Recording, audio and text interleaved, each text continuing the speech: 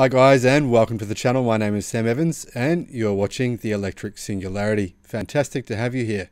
Guys, would love for you to subscribe or to like the video, but only if you enjoy watching it. And of course, only subscribe if you want to. Now, Porsche Boxster. Porsche has been dragging their feet with the new Porsche all-electric Boxster. The reason they say is because batteries are too heavy for a lightweight sports car.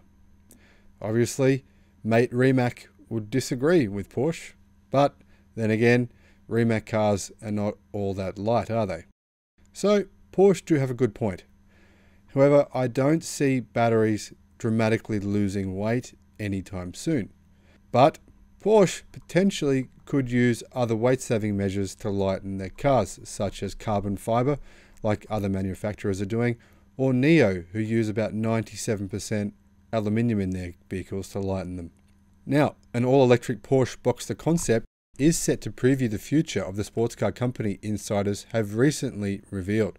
According to Car and Driver, news of the 718 Boxster electric vehicle EV has come directly from Porsche Executive Board Member for Development, Michael Steiner. The battery powered Porsche Boxster is expected to preview a future production version of the convertible as well as its coupe sibling, the Cayman. This is good news. In March 2021, company boss Oliver Blume confirmed electric Boxster and Cayman models were under consideration, but a final decision had yet to be made at that time. There is an opportunity that we will do the 718 electric, but we are still in a concept period where we haven't decided yet. To go electric now, we need future battery evolution, Blume said at the time. We will wait a couple of months more before we decide which concept we will use. But I think there is a positive potential to do this, and when we do the 718 electric, it should be driven like a 911 and all the other sports cars. Car and Driver suggests the electric 718 will eventually be sold alongside their petrol counterparts as with the forthcoming electric Macan. Exactly which electric platform will underpin the Boxster EV is not yet known, but Porsche has a habit of offering incredibly impressive performance performance numbers from their cars, so from in particular from their electric cars that is. So it's likely the zero emissions EV will outperform the petrol powered variants by a good margin in my opinion. Also, let's be honest, I think once there is an all electric Porsche Boxster, people are not going to want the petrol powered version. It's only powered by a four cylinder turbo. It's not like it's an amazingly beautiful sounding engine like that in the Porsche GT3.